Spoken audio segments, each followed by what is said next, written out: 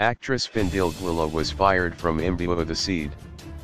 Bootylicious Imbewu actress Phindile Gwala has reportedly been fired from the popular ETV show.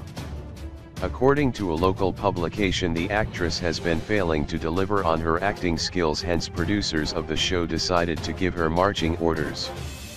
The actress portrays the fiery character of Fikile and she joined the show in 2020. Fikile left viewers on the edge of their collective seats during her debut speaking at Ngcolosi's funeral. Viewers were intrigued by her and wondered who she was. Her character won the hearts of many people with the drama, but sadly she couldn't win the hearts of the new producers due to her poor performance. Phindile's on-screen character was being struck off because of her craft competence. The producers have it that her talent is not what the showrunners expected out of her. However, it was revealed that the new producers were not very impressed, so they did not want to keep her, said a source.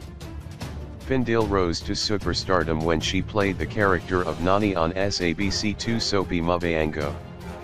We wonder what's next for her now. Another character exiting the show is apparently Musim Thabela, who plays the role of Menza.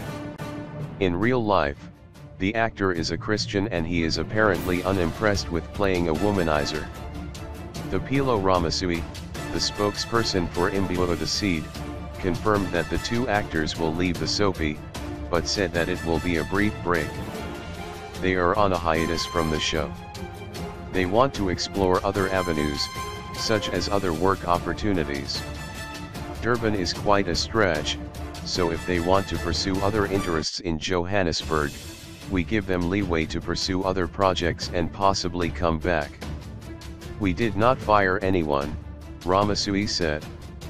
Musa won the hearts of many people on Isibaya when he played the much-loved character of Duma.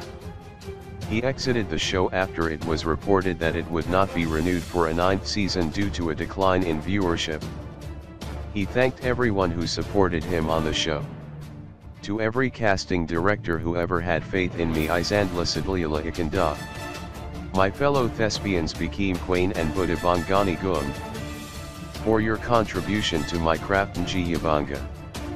A very special thanks to a brother that's special to me at Stumo.Chile for always pushing me to go further. Njiyabanga. Forget the words and search for your truth you would say. I learned a lot from at Andalamps. Your passion for acting is visible. Thank you for the love and tips. The crew of Isibaya. I love you guys.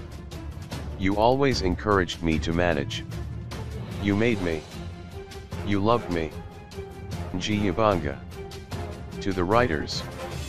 Cheers thank you for loving Duma he said. We wish them all the best in their future endeavors.